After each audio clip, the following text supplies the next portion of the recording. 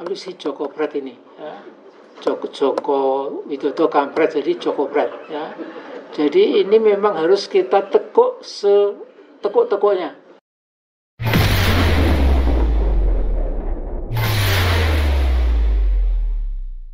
Alhamdulillahirrahmanirrahim Wassalatu wassalamu ala ashrafil amir mursalin Wa ala alihi wa ajma'in Amma ba'd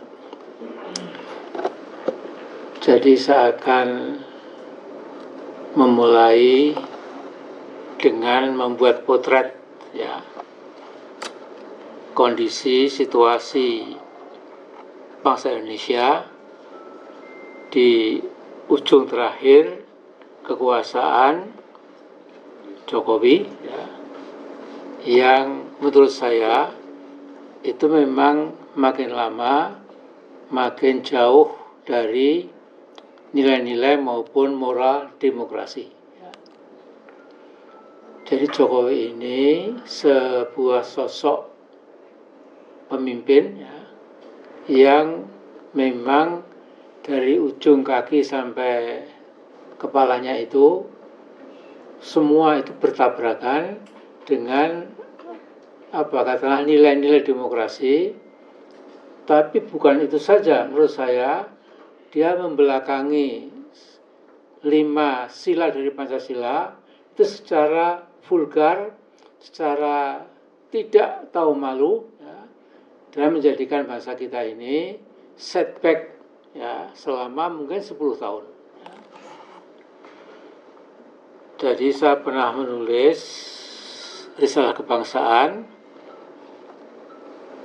terus saya lupa berapa puluh halaman. Saya mengatakan bahwa Jokowi ini sesungguhnya telah menjadikan Republik Indonesia sebagai Republik Mafia Cukong Taipan Indonesia. Karena dia omongannya itu merakyat, tapi sesungguhnya dia kerjakan itu dia tunduk, patuh, taat kepada Cukong Taipan dan mafia itu. Dan sesungguhnya saya pernah mengatakan Bapak asuh Jokowi itu namanya Xi Jinping. Sekjen Partai Komunis Cina, kemudian juga presiden apa RRC, kemudian juga kepala intelligence, kemudian dia punya 12 apa? 12 posisi yang penting sekali dan saya kira itu menjadi rujukan daripada Jokowi itu. Bahkan yang buat inisiasi untuk memindahkan ibu kota tiba-tiba sampai ke Kaltim itu ya di Panaser Pajak pa, pa, pa, pa, Panajam Pasir Utara ya itu saya kira itu apa itu layoutnya itu inisiatifnya itu bukan dari kita kita ya tapi dari para cukong Taiwan ya dan ternyata kebusukan Jokowi sudah kelihatan ketika peringatan HUT 79 tahun di IKN itu maka empat dari apa sembilan naga itu di depan sendiri sementara teman-teman TNI itu di belakang ya. jadi menunjukkan siapa sesungguhnya yang mempengaruhi yang memegang tengkuk Joko Pret ini ya itu adalah apa itu apa e, naga, sembilan naga tadi. Ya. Nah sekarang kalau kita bicara bagaimana menjatuhkan pamor sehingga Jokowi itu pantas jadi manusia terhina, itu kalau dia bisa kita kalahkan di Sumatera Utara. Ya. Jadi Jokowi ini jelas sekali punya apa punya uh, basic uh, actionnya itu membuat supaya Bobi Nasution itu bisa menjadi gubernur menggeser Pak Gubernur kita sekarang ini, ya, Edi Ramayadi. Nah kemudian saya termasuk yang pertama kali itu membuat video judulnya duet Bob Nasution dan Kahiyang menjadikan Indonesia apa menjadikan Jokowi mumet ya. karena terkuak bahwa ternyata dua oknum ini ya anak dan menantu ini apa membuat taring taring apa taring Drakulanya itu sampai ke Maluku Utara. Sehingga saya katakan fakta persidangan mengatakan bahwa Pak Abdul siapa itu?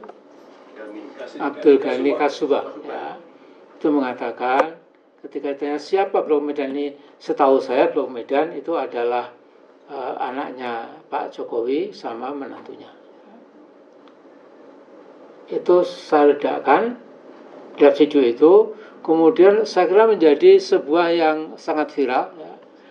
nah sekarang saya, saya yakin sekali bagaimana menekuk Jokowi di akhir kekuasaan yang sudah semakin menggila itu adalah bagaimana mematahkan kemauan dia itu yang menjadikan si Bobi itu gubernur ya, Sumatera Utara.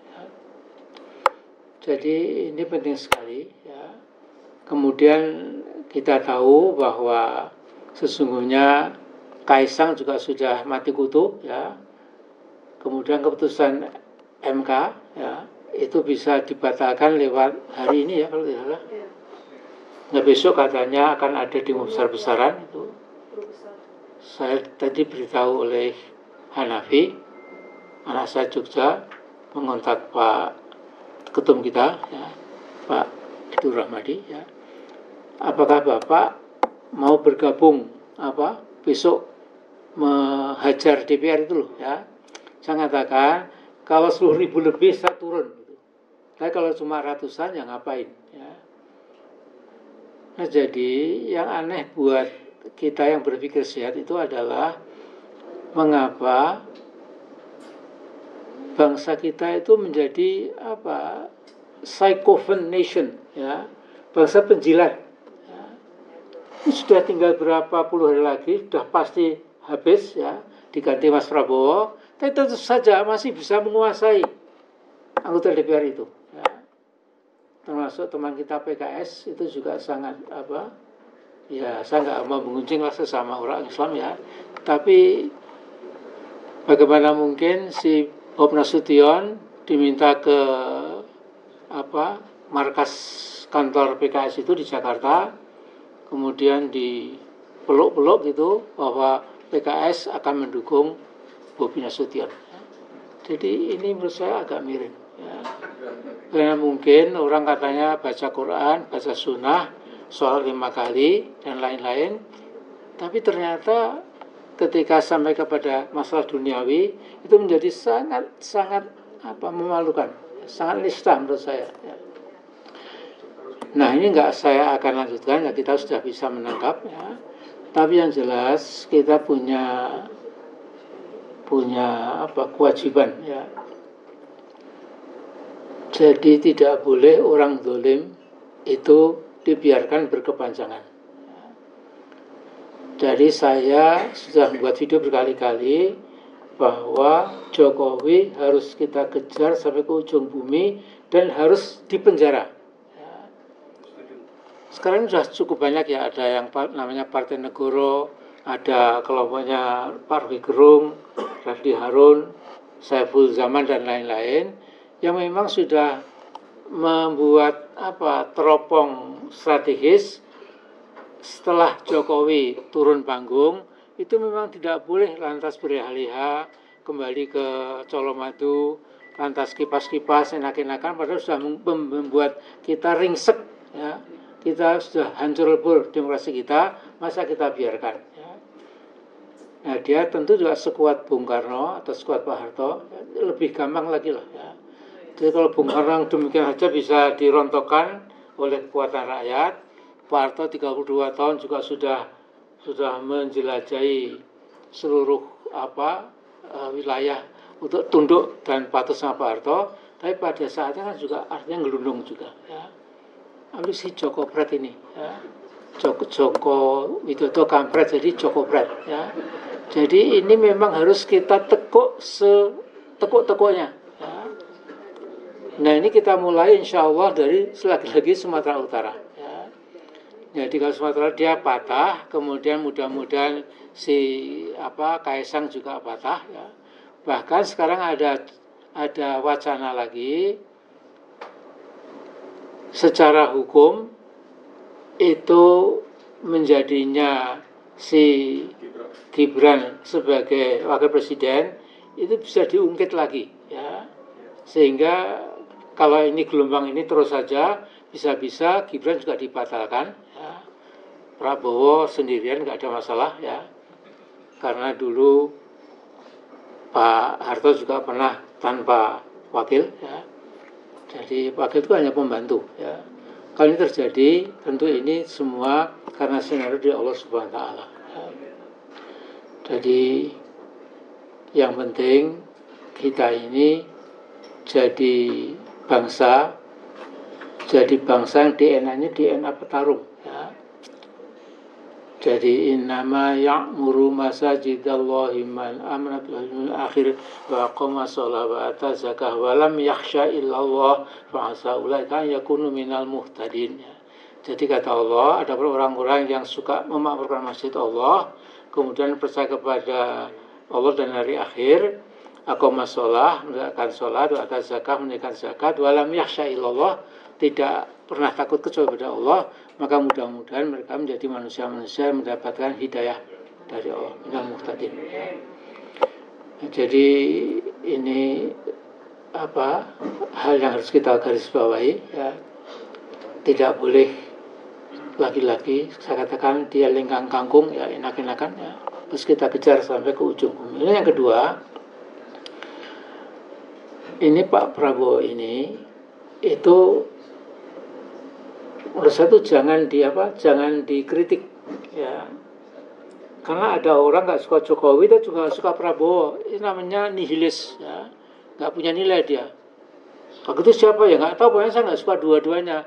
Ini saya kira manusia yang saya kira cepat akalnya itu ya. Nah sekarang saya sampaikan ya bahwa saya dengan Prabowo itu berteman sejak zaman reformasi.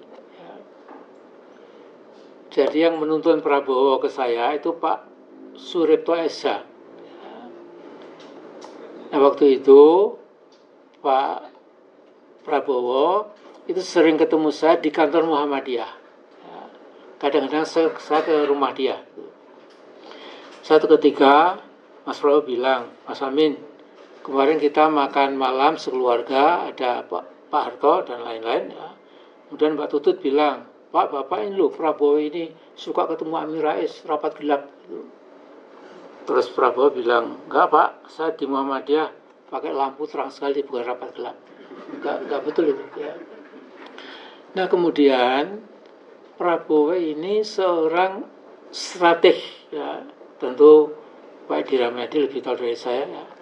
Jadi pikiran dia itu sudah mengetahui kira-kira nanti Tiongkok akan jadi super power bersanding dengan Amerika. Makanya dia memberi saya tiketing, lodging, ya, dan uang saku juga, ya, itu untuk pergi ke Beijing dan yang penting lagi itu jangan sampai di Beijing, tapi Pak Amin juga sampai ke Xinjiang. Xinjiang adalah sebuah provinsi yang 90% itu Islam. Berangkatlah saya ke sana, saya, Pak Rito Esa, kemudian Pak Rusdi Hamka almarhum, kemudian Kiai Sukri Gontor almarhum. Ya. Di sana kita terbuka wawasan bahwa ternyata RRC itu walaupun komunis tapi ada provinsi besar sekali mereka juga Chinese ya bahasanya juga bahasa Cina tapi mereka sudah mengalami Islamisasi sehingga saya ke sana itu ada masjid yang anggun dan besar yang sudah seribu tahun umurnya yaitu dibawa oleh para para apa para dai muslim dari Saudi apa dari Timur Tengah itu ya dari Saudi dan lain-lain yang kemudian mengislamkan sampai membuat masjid. Dan sekarang masjid itu sekarang sudah hilang. Ya. Bahkan kemudian yang dulu tempat masjid dan pesantren itu dijadikan tempat pembuangan dirt apa kotoran dari hotel-hotel ya. Jadi cara menghina si Jinping, cara menghina Islam di sana itu menjadikan wilayah yang tadinya itu wilayah Muslim dijadikan diambrukkan masjidnya dan lain-lain, kemudian dijadikan apa apa namanya sepiteng sepiteng raksasa. Nah, jadi kalau saya mengatakan Joko Pret itu punya Islamfobia itu memang jelas sekali ya. Dia itu bapak asuhnya memang Xi Jinping ini ya ketua Partai Komunis dan Presiden Cina gitu. Nah tentu ini harus kita follow up ya. Nah bangsa kita ini ya sebenarnya kan bangsa petarung bukan bangsa pecundang ya. Kita ini kan anak turunnya Diponegoro ya kemudian juga tokoh-tokoh dari Aceh ya. kemudian ya kita kita tahu kita ini anak turunnya Pak siapa? Haji Agus Salim dan lain-lain lah ya. Tapi oleh si kampret satu ini kan mau di, mau diadakan komunisasi ya, ko, ko PKInisasi lah ya. Nah, jadi kita punya kebutuhan ya bahwa insya Allah setelah Pak Prabowo nanti dikukuhkan ya itu agenda yang harus mengikuti secepat mungkin itu adalah dejokowisasi itu ya. nah kemudian supaya ketika saya dengan Mas Prabowo itu sudah bersahabat kemudian saya dipanggil oleh Profesor Sumitro Jayadi Kusumo, bapaknya Pak Prabowo. Di rumahnya Pak Mulyoto Joyamartono. Jadi Pak Mulyoto Joyamartono itu direktur Bank Eksim, itu sangat dekat dengan bapaknya Prabowo itu. Ya. Nah, kemudian saya dipanggil, kemudian saya dikasih masukan-masukan oleh Pak Sumitro itu. Ya. Dia mengatakan, amin, Amir saya senang anak saya subatan sama kamu gitu. Kamu lebih tua ya. Jadi kalau bisa ya hal-hal yang mungkin kurang pas kamu kamu ah, perbaikilah kalau bisa ya. Nah, kemudian lihat ya, Pak Prabowo ini selain sudah melihat Cina akan jadi superpower ya, tapi Pak Prabowo bilang sama saya, Mas Amin, you bisa nggak menemukan saya ke apa Gaddafi? Ya. Mengapa tidak? Itu. Dan diatur saya dengan Pak Prabowo itu ketemu Gaddafi. Ya. Nah waktu itu Pak Prabowo itu memang menjajaki apa mungkin ya kalau dia beli minyak ya oil minyak dari dari dari Libya ya. Nah kemudian waktu itu Gaddafi menyuruh menteri minyaknya supaya apa supaya diskusi ya.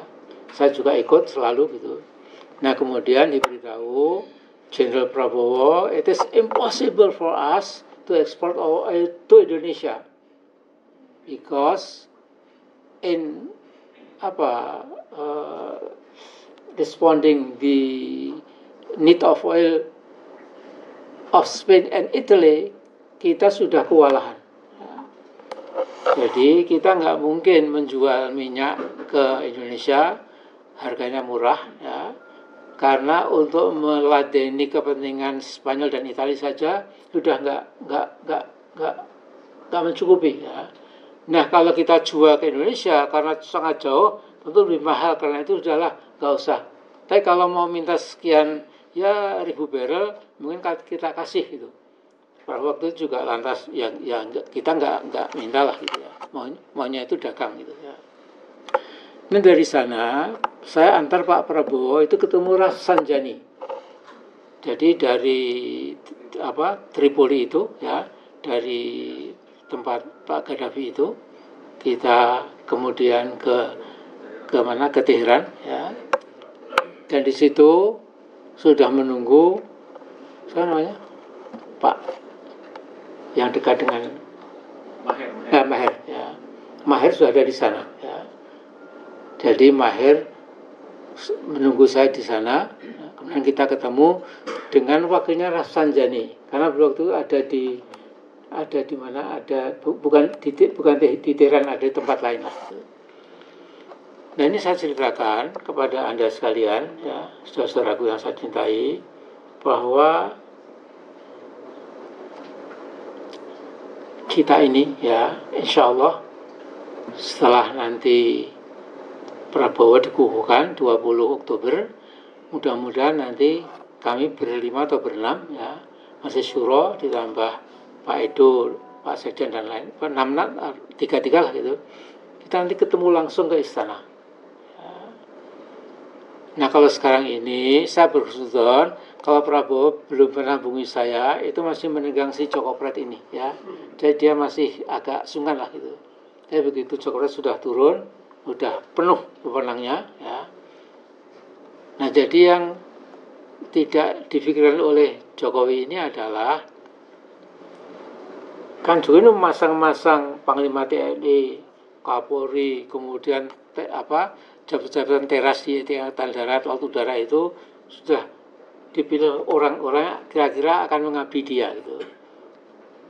Tapi pikiran naib dia itu kan begitu ganti presiden, ya kemudian semua ada di bawah kendali Pak Pak Prabowo ya. Tidak mungkin apa tukang kayu dari Solo ini kemudian bisa masih berpengaruh lagi. Itu yang dia dia lupakan saya kira Nah, karena itu kita tatap masa depan dengan penuh yakin diri dan tentu kita tidak pernah sedikit pun lupa semua itu karena kita menjalankan tugas kita sebagai orang muslim, orang mukmin untuk jihad fi sabilillah ya. dalam dimensi multidimensi ya.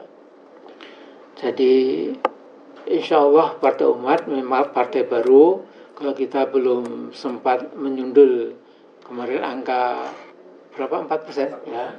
Itu ya kita maklum ya. Karena partai baru juga pas-pasan ya. Kadang-kadang untuk beli bendera dan apa kalau saja kualan kita. Jadi kalau dari mana pan Nusa Tenggara Barat atau pan mana gitu minta kaos pak. Eh, apa?